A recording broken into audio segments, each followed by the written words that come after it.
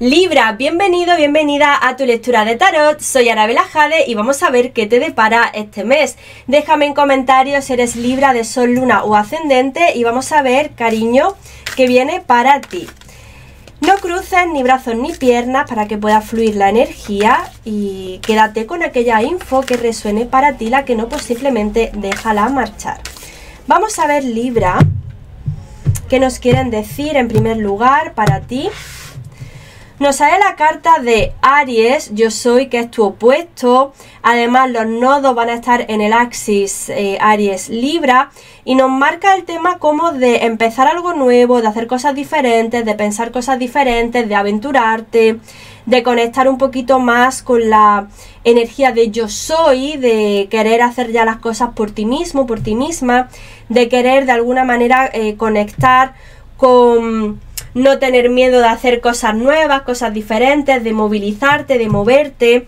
Nos sale la carta de la casa 11, los amigos o el mundo social y nos están marcando que va a ser un mes donde vas a conectar con gente nueva, con gente diferente.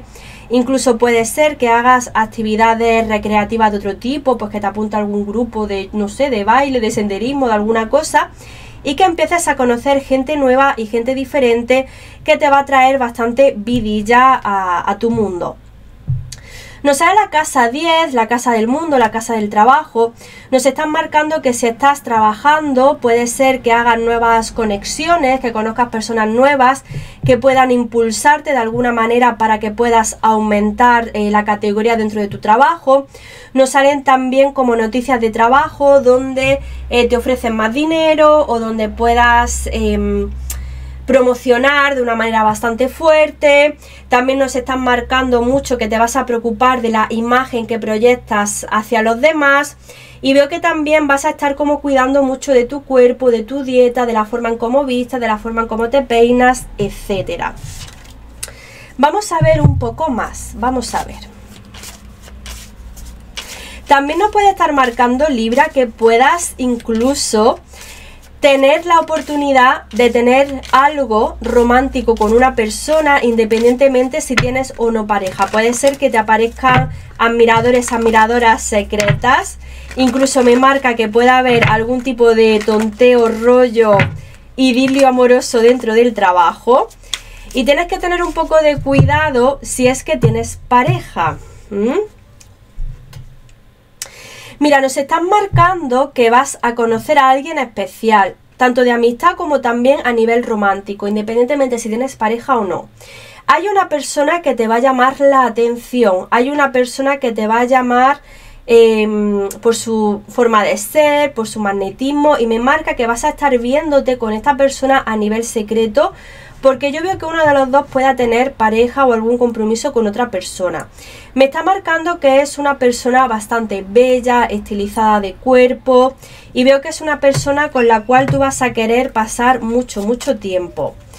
Veo que esta persona, de alguna manera, si estáis alguno de los dos en relación, esta persona pueda sentirse como el alma gemela o la persona de tu vida y que en un principio, aunque empiece todo como un rollete, como un amorío, como una aventura, como algo digamos inocente, pueda sorprenderte y que esta persona pueda ser la causante de una ruptura si es que estás en pareja en el futuro o que tú puedas ser de cierta manera el causante de la ruptura de pareja en esta otra persona, ¿vale? Nos están marcando que esta persona ha aparecido en tu vida por algo que esta persona se manifiesta por algo y que es una persona que aunque parezca que es algo inocente, va a ser una persona que va a transformar tu vida y tu realidad.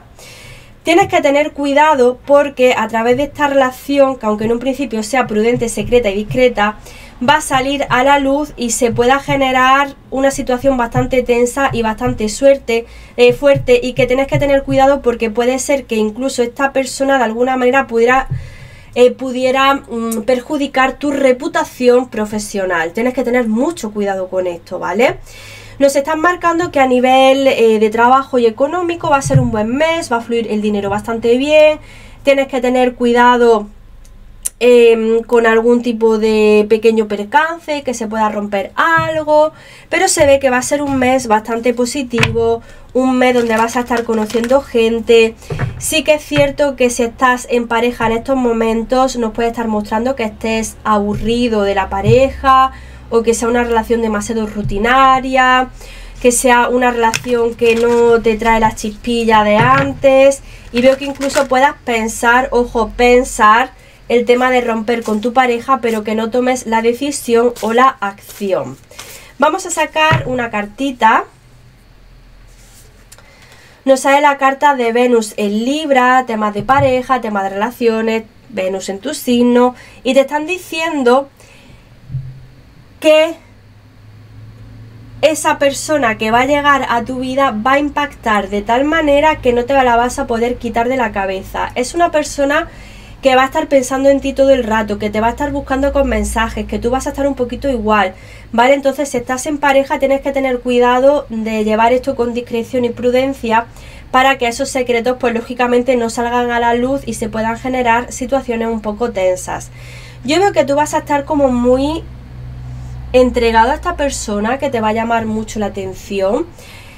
Y bueno, déjate fluir un poquito. Déjame tu like, tu comentario, sígueme y te mando un besazo enorme. ¡Chao!